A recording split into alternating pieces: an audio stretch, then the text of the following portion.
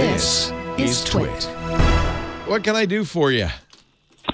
Well, I've spent the last 15 years in office administration and clerical, and uh, now I'm looking in the uh, looking for some new work, and I wanted to break into IT. Uh, I've got a bunch of friends that I've talked to to kind of do a little surface research on certifications, but I'd love to know which ones you think would be good for me to get into entry level support. Yeah, and so that's the first thing is what part of IT do you want to work in? IT is a very broad term, and it's everything from, uh, you know, setting up networks, sysadmins, security, uh, and but you said one part of it, uh, which is actually an important part, probably the part you see the most when you're working, which is the support guy, the IT support person. Do you want to be somebody in an office, or do you want to be on the phone? How, how, what what kind of thing do you want to do? Either. I mean, of course, with the circumstances, I, I would like to have an option of some remote work. But um, I, you know, the the work that I've done, there's always been an element of call Cameron to fix yeah. that, fill in the blank. So you're already halfway there. Yeah. Yeah. So the I first thing I think for this, the basic one is the A plus cert. That's from CompTIA, C O M P T I A. And so the reason these certs exist, everybody knows, every IT person knows that it really isn't a good measure of how good an IT person you'll be. But you don't have any experience. You know, five years experience would be the best thing, but how do you get the first five years? They have these tests, and you pass the test, and you show at least that you have certain knowledge.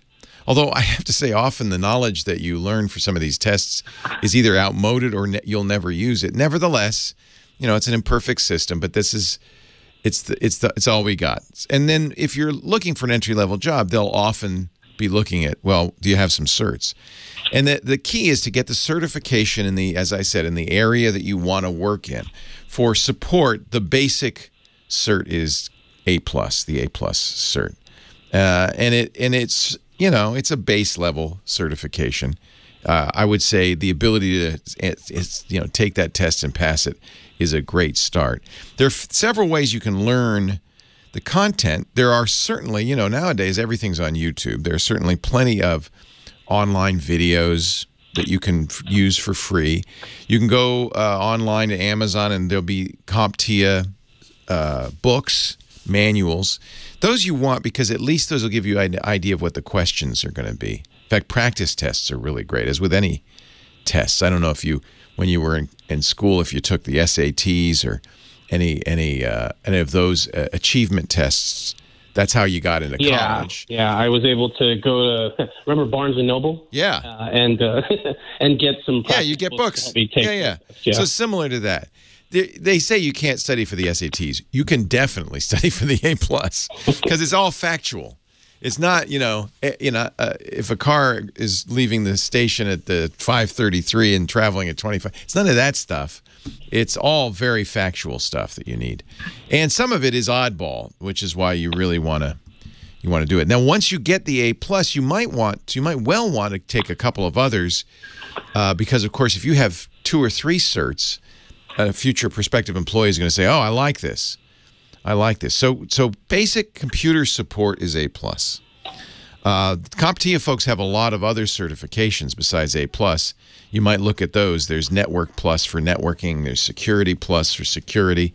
There's infrastructure. There's um, you know cloud. Maybe you know it just depends what you want to do, right? I mean, it's a broad field. I have to say, it's also a really good field right now. Uh, the economy is tanking in so many ways, and but IT, especially now, the ability to keep the servers running and the networks going is super important. So I think this is a great field to get into right now.